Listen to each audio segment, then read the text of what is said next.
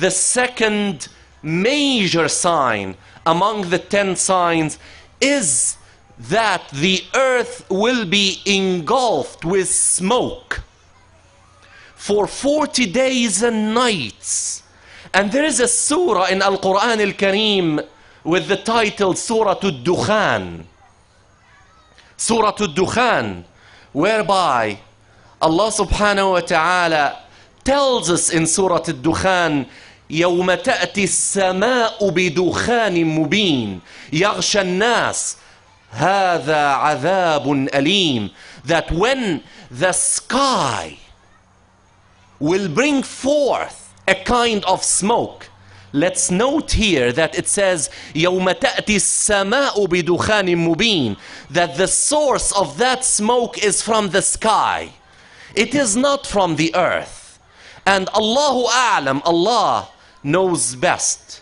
We know from science again that the earth was hit six million years ago with a meteorite of a magnitude that killed all forms of life and caused the distinction, the, the extinction of the dinosaurs.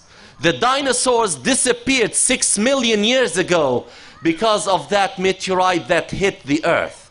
And scientists are telling us that there is such a meteorite coming our way and that they are expecting it around the year 2126 and that they know exactly in what direction it is moving and here in the United States they are working day and night trying with their technology to build crafts that will intercept such a meteorite hoping that they can divert its path away from the earth.